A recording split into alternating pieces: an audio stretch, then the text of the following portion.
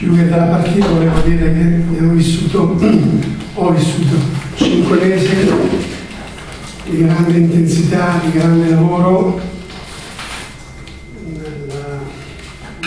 nelle difficoltà, però anche nel fatto di essersi conquistati un'importante permanenza in Serie A. Di questo dovrà ringraziare la società, il Presidente che mi hanno dato questa opportunità, devo ringraziare il mio staff, tutto, che è stato costantemente un aiuto in tutto quello che abbiamo fatto. Devo ringraziare voi della stampa perché siete stati un pungolo onesto. Devo ringraziare tutti i tifosi e infine voglio ringraziare con amore abbracciare i giocatori veri artefici di questo campionato. Per il sesto anno Cremona tornerà in Serie A, lo fa con i suoi, con i suoi step, con il suo camminamento, lo fa con la certezza che la Serie A è un campionato molto difficile dove bisogna sempre sapere come affrontare i diversi momenti. Negli ultimi cinque mesi abbiamo vissuto tante, tante, tante, tante situazioni, però abbiamo superato una alla volta e questo credo che sia un, un baluardo su cui costruire il futuro.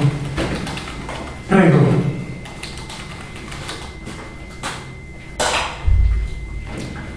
Oggi hai vissuto una situazione un po' particolare, no? hai, eh, eh, sportivamente hai dato dispiacere ai tuoi conterranei, hai fatto dispiacere a, alla piazza di Pesaro, come si vive emotivamente, pur da uomo di sport eh, onesto, integro questa situazione? Sai, penso una cosa, non può esserci una sola persona che fa una cosa e non ci può essere una sola partita che cambia il corso della vita. Claire, io ho la responsabilità di fare l'allenatore per Cremona. E questo, di questo ne sono orgoglioso, onorato e fino all'ultimo secondo, all'ultimo sudore, all'ultimo goccia di sudore lo farò e l'ho fatto per, per Cremona, come nei 29 anni precedenti. Mi piace ricordare che non mi è stato mai regalato niente nella mia vita. E sono conquistato tutto, questo, a questo punto sto parlando a livello personale naturalmente, senza aspettare che qualcuno me lo regalasse e soprattutto senza delegare ad altri delle responsabilità per le cose che io non ottenevo. Anche perché non credo di avere responsabilità, credo di avere dei meriti in questa vittoria di Cremona.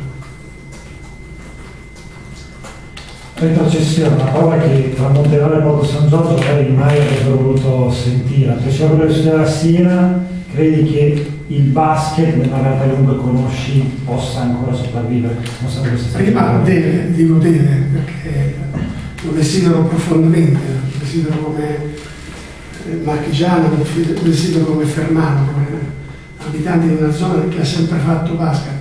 Questo basket negli ultimi anni Monte Carnaro l'ha sempre fatto ad altissimo livello e ne ho sempre riconosciuto e ne riconosco i meriti perché ho avuto ed ho grande stima per tutto l'ambiente di Monte, di Monte Granaro, perché una città un cittadino di 13.000 abitanti che per 8-9 anni di seguito sta ai massimi livelli, vuol dire impegno, vuol dire organizzazione, vuol dire lavoro, vuol dire tante, tante cose. Questa è la cosa che mi è sempre piaciuta di Montegrano. Quindi auspico che il Fermano ritrovi subito l'energia e lo sprint per ritornare a pensare basket ad altissimo livello. Sono convinto che la stessa passione che ho sentito stasera di Montegranaro sia la stessa con la quale da domani mattina ripenseranno a costruire il futuro di quella società e di quella città.